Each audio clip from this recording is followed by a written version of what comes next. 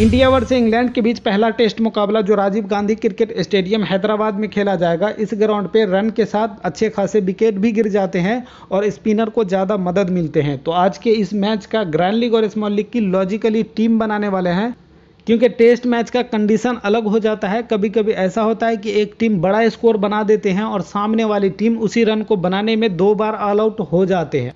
आपने देखा इंडिया और साउथ अफ्रीका के बीच जो पिछला सीरीज़ खेला गया था, उसमें साउथ अफ्रीका 408 रन बनाए थे और इंडिया इसी रन को बनाने में दो बार ऑल आउट हो गए। उससे पहले इंडिया और वेस्ट इंडीज के बीच मैच हुआ। इंडिया 421 रन बनाए थे और वेस्टइंडीज चेस करने में दो बार ऑल आउट हो गए। तो इस तरह का कंडीशन हो सकता है। इसके लिए दोनों टीम के प्लेइंग एलेवन को समझना होगा।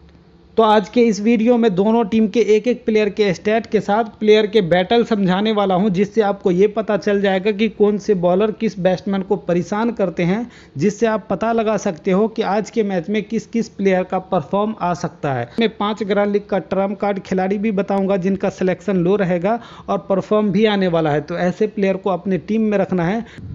साथ में कैप्टन और वाइस कैप्टन का भी बेस्ट चॉइस बताने वाला हूँ, जिसका आज के मैच में अच्छा खासा परफॉर्म आ सकता है। तो वीडियो को बिना स्किप किए शुरू से अंत तक देख लेना और लाइक ज़रूर करना। लाइक करने के साथ चैनल भी सब्सक्राइब कर लेना। साथ में बेलाइकन को दबा देना ताकि मैं कोई भी वीडियो डालूँ तो आपको सीधा नोटिफिकेशन में मिलता रहे।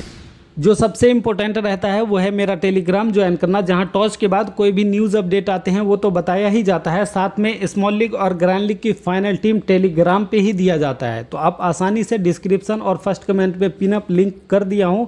आप वहाँ से जाकर ज्वाइन हो सकते हैं। और जैसे ही आप मेरा टेलीग्राम ज्वाइन करना तो आप स्क्रॉल करके देख लेना कि किस तरह की टीम रहती है, मेरा किस तरह का विनिंग होता है।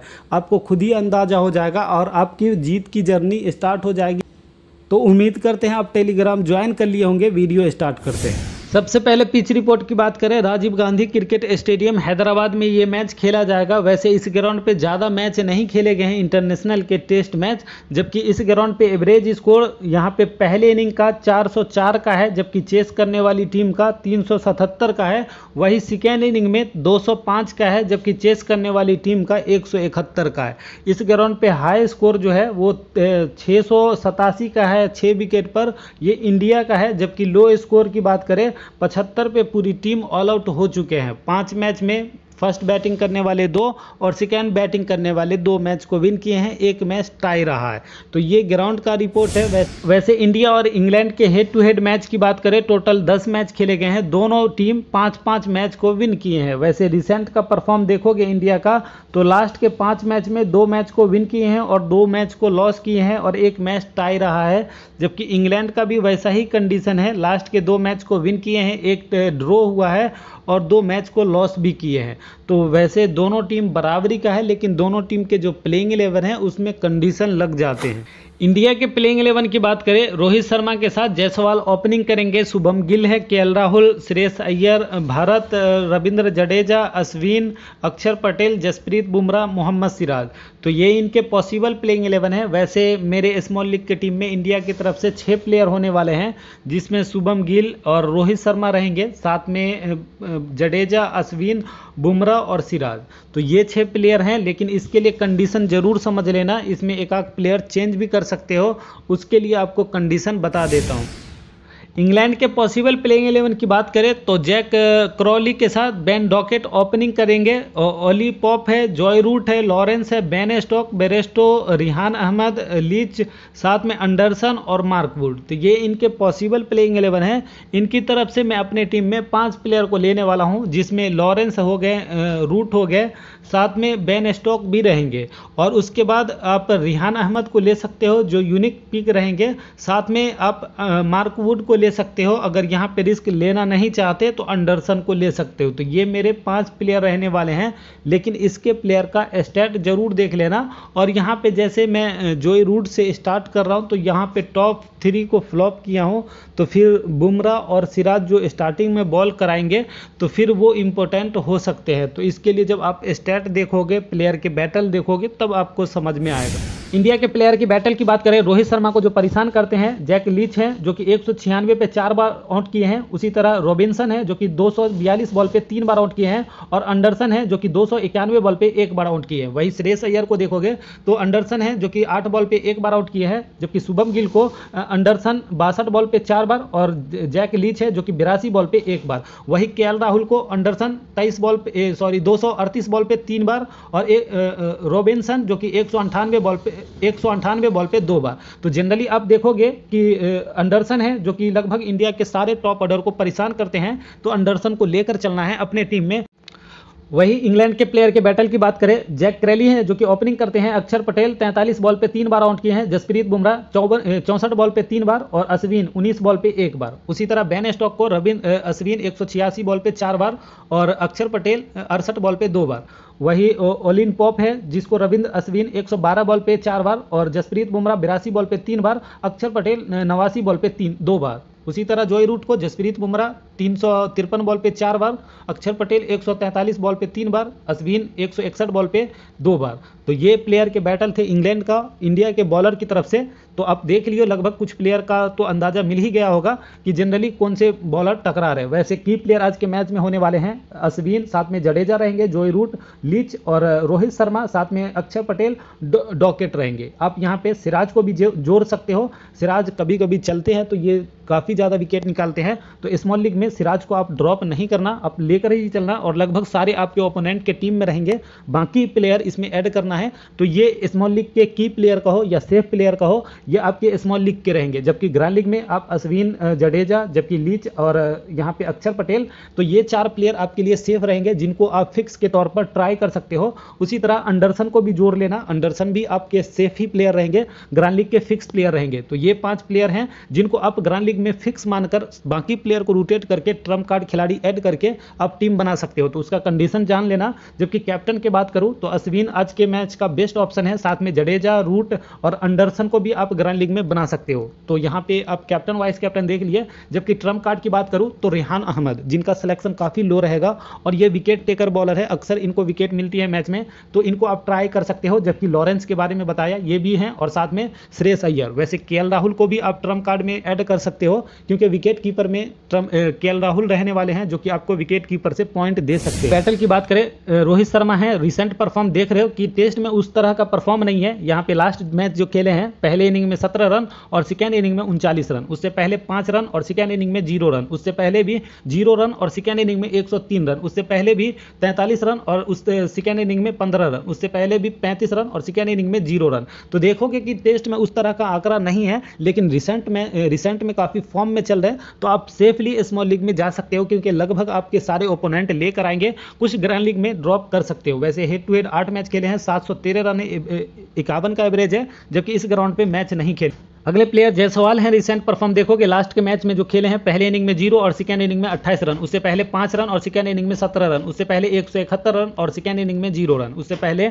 बारह रन है। तो ये रिसेंट परफॉर्म है हेड टू हेड और वेन्यू का कोई भी एक्सपीरियंस नहीं है, जबकि अगले प्लेयर शुभम गिल है, शुभम गिल का भी देख सकते हो लास्ट के मैच में पहले इनिंग में छत्तीस रन मारे थे, उससे पहले दस, उससे पहले दो रन और सेकेंड इनिंग में छब्बीस रन, उससे पहले ज़ीरो और सेकेंड इनिंग में छह रन, उससे पहले तेरह रन और सेकेंड इनिंग में अठारह रन। तो इस तरह से आप देख सकते हो, क्योंकि मैं जब बताने लगूँगा तो वीडियो काफ़ी बड़ा हो जाएगा। आप देख सकते हो हेड टू हेड पाँच मैच में इनका 140 रन है 17 का एवरेज है। वेन्यू पे मैच नहीं खेले हैं। जबकि अगले प्लेयर की बात करूँ के राहुल है रिसेंट परफॉर्म आप देख सकते हो ज़ीरो रन लास्ट के मैच में मारे हैं सेकेंड इनिंग में आठ रन, उससे पहले चार रन और सेकेंड इनिंग में एक रन, उससे पहले सत्रह रन, उससे पहले एक रन, जबकि उससे पहले बीस रन सेकेंड इनिंग में ज़ीरो रन तो इस तरह का परफॉर्म है हेड टू हेड बारह मैच खेले हैं, आठ रन है, अड़तीस का एवरेज है वेन्यू पे दो मैच खेले हैं, उनचास रन है। तो ये देख सकते हो, जबकि अगले प्लेयर श्रेयस अय्यर है रिसेंट परफॉर्म देखोगे, इनका भी कुछ खास नहीं है, फ्लॉप ही है, जबकि हेड टू हेड एक मैच खेले हैं, चौंतीस रन है वेन्यू का कोई भी एक्सपीरियंस नहीं है।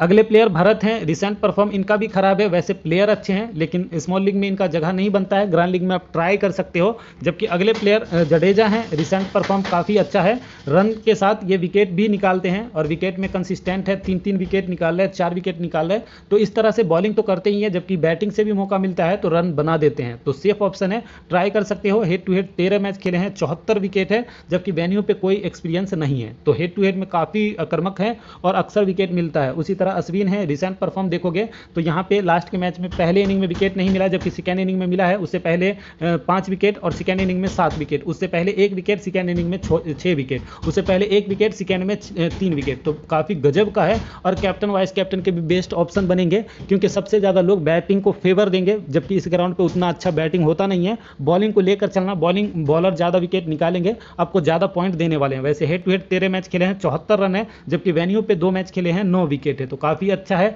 जबकि अगले प्लेयर अक्षर पटेल है जिनका रिसेंट परफॉर्म आप देख सकते हो कि कुछ खास नहीं है। हेड टू हेड तीन मैच खेले हैं, सत्ताईस विकेट है, जबकि वेन्यू पे कोई एक्सपीरियंस नहीं है। अगले प्लेयर मोहम्मद सिराज है रिसेंट परफॉर्म लास्ट के मैच जो खेले हैं छः विकेट निकाले हैं, और सेकेंड इनिंग में एक विकेट उससे पहले दो विकेट जबकि उससे पहले एक विकेट उससे पहले भी एक विकेट तो मतलब उतना खास नहीं है टेस्ट में। कभी कभी ये थॉक में निकालते हैं तो इसलिए सेफ़ रहेंगे। आपके लगभग सारे ओपोनेंट लेकर आएँगे। अभी फ़िलहाल जो ओडीआई टी ट्वेंटी सब में अच्छा कर रहे हैं तो इसलिए सभी लोग लेकर आएँगे। और ट्राई कर सकते हो। जबकि अगले प्लेयर जसप्रीत बुमराह है। रिसेंट परफॉर्म रिसेंट परफॉर्म देख सकते हो। लास्ट के मैच में दो विकेट सेकेंड इनिंग में छः विकेट उससे पहले चार विकेट उससे पहले दो विकेट उससे पहले तीन विकेट तो इस तरह का परफॉर्म है। ये भी कंसिस्टेंट है। विकेट निकालते ही है। हेड टू हेड दस मैच में बयालीस विकेट है। वेन्यू पे मैच नहीं खेले हैं। तो ये इंडिया के प्लेयर के स्टैट थे।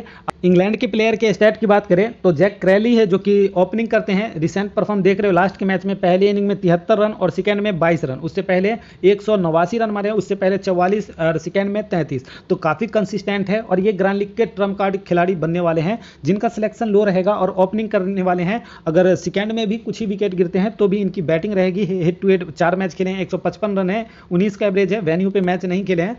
इंडिया के खिलाफ अभी तक चार मैच खेले हैं, चारों के चारों मैच में फ्लॉप हैं तो उस कंडीशन में आप ड्रॉप कर सकते हो, लेकिन वैसे रिसेंट परफॉर्म में अच्छा कर रहे हैं तो आप पिक भी कर सकते हो ग्रैंड लीग में। वैसे बैन डॉकेट है रिसेंट परफॉर्म देख सकते हो लास्ट के मैच में बयालीस, उससे पहले इकतालीस, और इसी तरह से परफॉर्म देख सकते हो हेड टू हेड दो मैच खेले अठारह रन है। मैं तो ड्रॉप ही करने वाला हूँ, आप चाहें तो ग्रैंड लीग में ट्राई कर सकते हैं।